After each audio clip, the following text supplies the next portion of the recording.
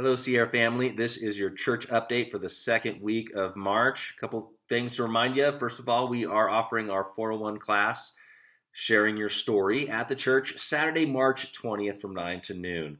Now, if you don't want to join us in person, we'll offer an online Zoom format and that as well, but you need to sign up for this class, and you can do that a couple ways. You can follow the link that is in the slide attached to this video, or you can go to the website in the upper right hand corner. There's a sign up tab sign up and we will get you all the information that you need for that class. Now, we are moving close. I can't even believe I'm saying this to Easter, and it is going to be a jam packed weekend.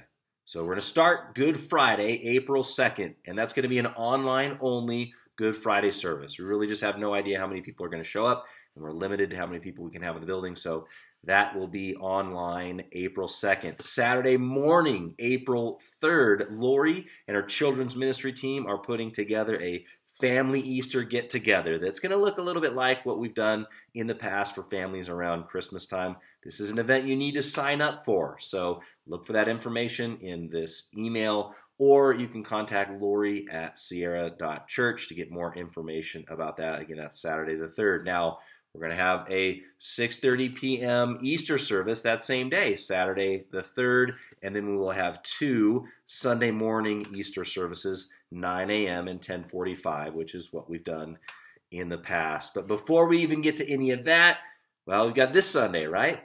And we are planning in-person services, 9 a.m., 10:45, our 1 p.m. family service. Make sure you sign up for that one and our 6:30 p.m. service.